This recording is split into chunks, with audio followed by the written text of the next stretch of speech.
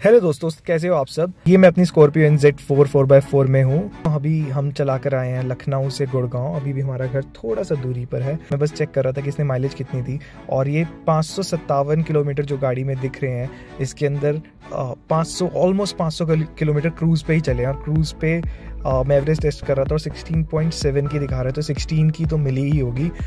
काफ़ी अच्छा परफॉर्म किया है गाड़ी ने महिंद्रा रॉक्स स्कॉर्पियो रॉक्स